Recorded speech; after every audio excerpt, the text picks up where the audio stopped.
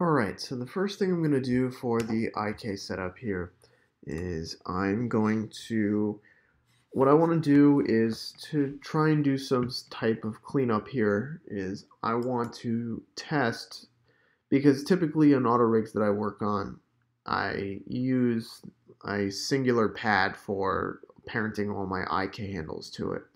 And so what I want to do is just run a quick test just to see if that pad would essentially exist. So um, what I like to do here is just do an IK group test here using the objects exists command and check for the IK handles pad, which is typically the name I use for it. Um, and you know, if it doesn't exist, um, so if the group test equals zero, then create it. If it equals, um, if the IK group test equals one, then I'll just reference it. So I'll just say IK pad equals the name of that path or uh, just use a different variable. IKhandles path. There we go. Um, and um, so if I want to create it, then I'm just going to copy and paste the code in here. So create the group, name it IKhandles pad. That's the new group. If it's already created, use that name. Um, and I am just to make it easier, I'm going to just turn the visibility off on that IKhandles pad, um, just because usually you do turn that off. Um, and now we're going to make the IK handle. And for the interest of time, I'm just going to copy and paste everything in here. So uh, I just call it IK. This is creating the IK handle. I use the start joint is the first one in the IK joints. Obviously, the last joint.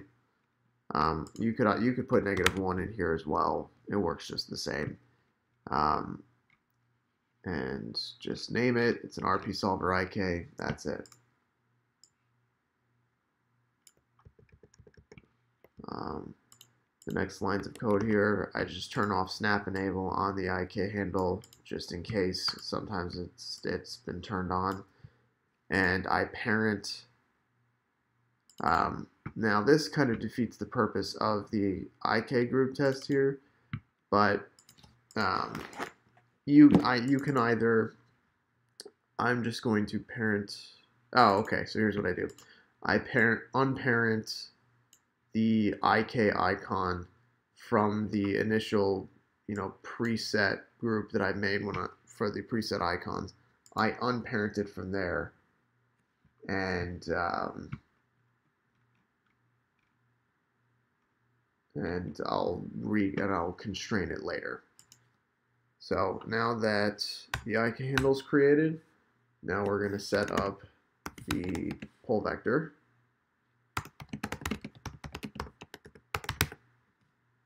I'll call it slash twist because one of the options isn't a pole vector. So I'm just going to copy and paste all the code I have for that in here and explain what I'm doing here. So um, I say if PV type, which is the variable for the radio button, if it equals 1, meaning it's set to twist, then all I'm going to do is for the IK icon, create a variable called pole vector twist and connect it into the twist attribute of the IK handle. This is a way to get the arm to twist without actually needing a pole vector control, just in case. I've used it a lot for um, quadruped uh, rigs if I'm using a IK spring solver, you know, because um, there are some issues with pole vectors. So in that instance, I don't actually use pole vector controls, and I'll just use the twist attribute instead. But if the pole vector uh, type is set to 2, then I, the same process I did for the IK control, I also do for the pole vector control. Um, you know, I change the color on it, uh, unlock and hide the specific attributes, or unlock and show the, the specific attributes, um, parent it to the world, rename it, um, rename it to the specific name I need, and freeze transforms, and then I'm done, and then apply the pole vector constraint there.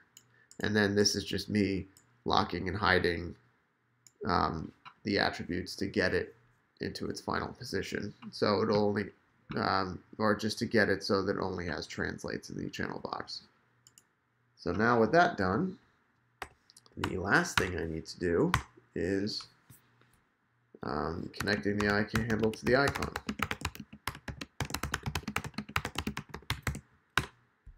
And again, I'm just going to copy and paste the code here because this should be pretty straightforward at this point. Most of what I'm trying to do here is just showcase like my methods. I'm not actually going to go through line by line of what the what the code's doing. You can kind of figure that out for yourself. I'm just trying to showcase what I do here. Um, and this is constraining the IK handle to the icon, um, parenting the IK handle to the IK handles pad, and locking and hiding the scale attributes um, for the icon. And that's it for the IK control. So that's all done. So the IK is now set up. And now we're going to do the same thing for the FK setup. Um, but before I do that, there's one last thing I want to do. Um, so you can see here, I passed all these arguments into the IK setup from the auto arm rig. But I'm not, I can't necessarily pass um, the objects back to this that I want to.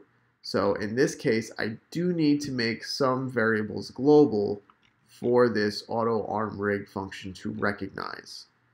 And the ones I'm going to use, I'm just going to put at the very top here, label global, and I'm going to use the IK joints here, because that I'm definitely going to need. Um, the IK control, so I'll definitely need that as well as the pole vector control.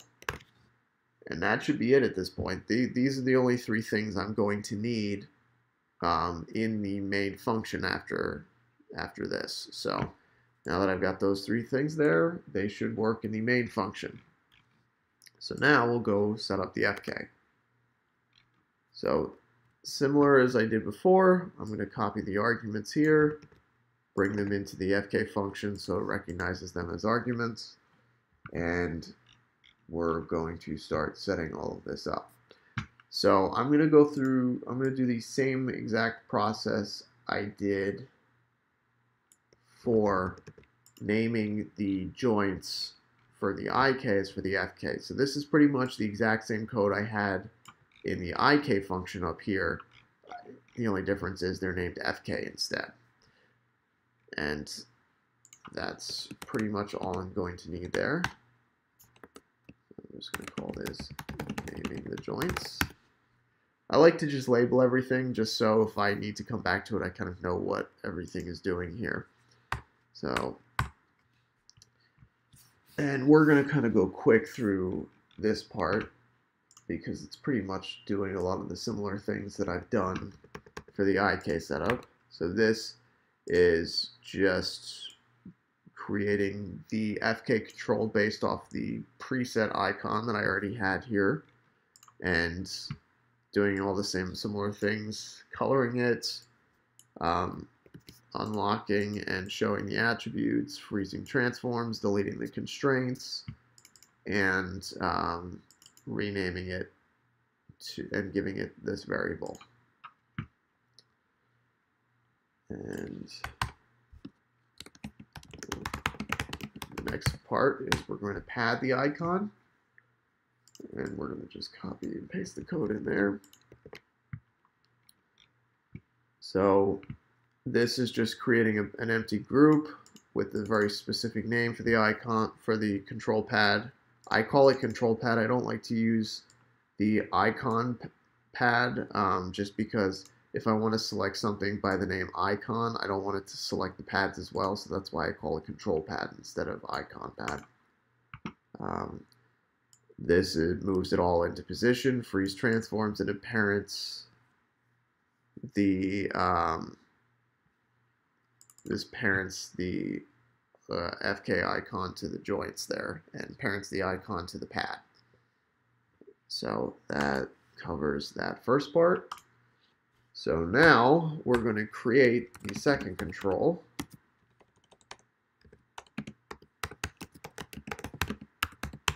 So we need to create the second icon for the elbow. And again, we're just going to copy and paste all the code in there.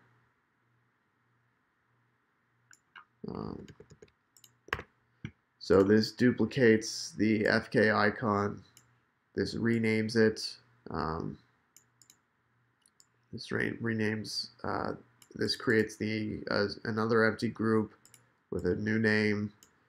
Um, this moves the group pad into the place, into the correct place, parents the icon. It zeroes out the translates and rotates, so it moves to the right spot. So it snaps there, and then parent constraints the joints to the icon. And that's that. And then the last thing I do here is I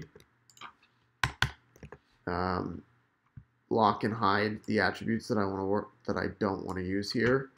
Um, and since the FK control for the elbow, it only really needs the rotate Y. It doesn't need any of the other rotates because the elbows typically just bend on one axis here.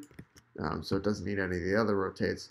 So that's why I have a separate loop for that second control um, because it requires more, many more attributes there uh, to lock and hide. So now that everything's locked and hidden, that's pretty much it for um, the FK setup. That's pretty much done. So um, as far as I can tell, yep, the, the FK is parented on the, the pad for the second control is parented under the first control. And that's pretty much it. So the FK is now done as well. So now that we have the IK and the FK both completed, now we just need to uh, complete the IK FK setup, which again, we go back to the auto arm rig function. Because now, at this point, whether no matter the rig type, it should already be completed. So now we can just go through and finish the switch process. Now, if so, if we're doing ARM type 1 or 2, meaning if it's just IK or just FK, at this point, you're done. The script should, the script should be finished. Um, but we need to set up the switch for the, um, if the ARM type is set to 3 for the IKFK. So make sure that we are tabbed over here under this third if statement. And we're going to start um, creating the joints here. Um, so I'm just going to start copying and pasting some of the code I have in here. So the first thing I do, and this is just more for personal preference, I give it, I gave it custom, I gave it new variables. Um, just because I think this variable was from older scripts where I had this already, where I had the switch already done using these variables. So I can just quick, just re-identify the IK and FK joints under these variables because I've already had them working in here. So, um, and the constraints to do the IKFK switch are done right here, given the custom variables. So the next grouping of code is to get the hand icon that should be created into place. And that's all this is doing is just moving the hand icon into the right, or uh, just cleaning it up, renaming it, uh, giving it a new variable, and adding the attribute for the IKFK switch. And at this point, it should be pretty much good to go here. Um, so we'll just start by, we'll then do the IKFK switch here. I'm just checking. So um, to try and conserve code, what I did is I did the um, the set driven key for the IKFK switch under a while loop just to try and um, conserve uh, coding here. And so that's what all this is. This is here. So I get the length of the joints and I set the counter to zero and say while the counter is less than the length of selected minus one because um, there's no switch on the waist joint, so I only need to con concern myself with the first two, so I can um, decrease the selected length by one. And then this is the code for the IKFK switch. And it's just uh, running the keys for the parts of the constraint that are following the IK and the FK list, and it uses the counter, so it increments everything. Um, and that's pretty much it. So now that the switch is done, the last thing I want to do is add the visibility swap on the icons. And all this is this is just another set driven key using the IKFK switch attribute and it turns on and off the IK controls and uh, and the FK controls as well. So it just hides them and shows them depending on the IKFK switch attribute here. Um, and that's pretty much all this is doing here. And so the last thing I want to do at the very end here of this auto arm rig is I want to get out of the if statement here. And all I'm doing is the last line of code and it's deleting the arm ref pad here, which is this uh, pad that the preset controls were under. I do that at the very end just to make sure everything's done and should be unparented from this group that I need, and then I can just delete this group. The last thing I want to double check is just to make sure that the arm ref rig pad variable, I did make it to global, so just want to double check that. So I did not make it global. Um, let me just check just to make sure that that pad is created and has that name.